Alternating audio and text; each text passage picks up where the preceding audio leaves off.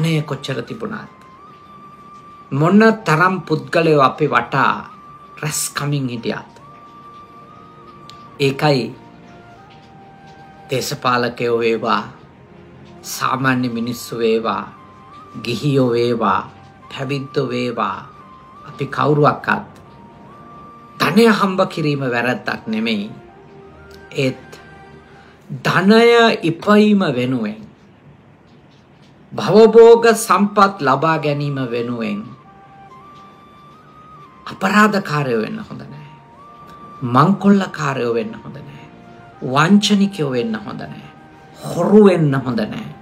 දූෂිතයෝ වෙන්න හොඳ නෑ. එක වචනකින් කිව්වොත් එක බෞද්ධ වචනකින් අධාර්මික වෙන්න හොඳ නෑ. මොකද?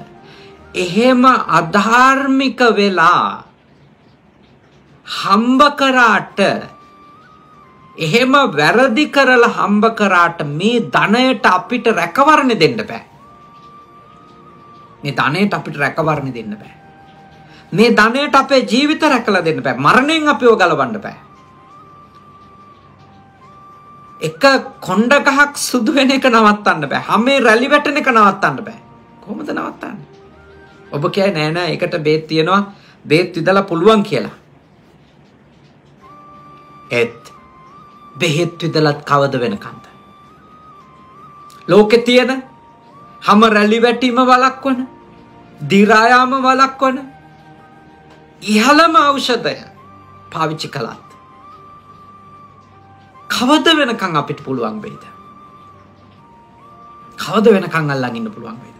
ඒකයි අපි ධනය සහ බලය වෙනුවෙන් ඔය මානව සම්පත සහ භෞතික සම්පතේ තියෙන පුත්තා සහ ධනන් කියන වචන දෙකටම අපිට කියන්න පුළුවන් ධනය සහ බලය කියන.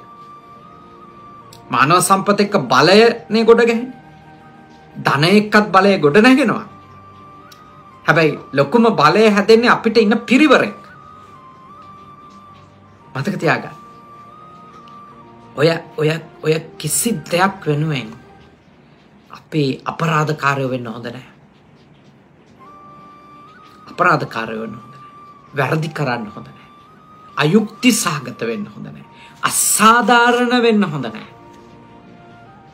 කොයි ආගමේ වුණා මේ බණ අහනවා කතෝලිකයෝ මේ බණ අහනවා ශ්‍රාම් භක්තිකයෝ මේ බණ අහනවා හින්දු භක්තිකයෝ මේ අපි කවුරුණා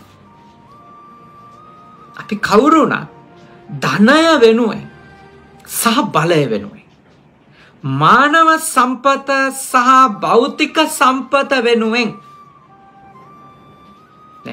මානව සම්පත සහ භෞතික සම්පත වෙනුවෙන් මතක තියාගන්න අපේ කවදාවක්වත් අයහපත් වෙන්න හොඳ නැහැ. මොකද ඒ කිසිවක් වෙනුවෙන් අයහපත් වීම කියන தത്വෙට ගමන් කරන්න තරම් ඒ කිසිවෙකුවත් ඒ කිසිවක්වත් වටින දේවල් නෙමෙයි.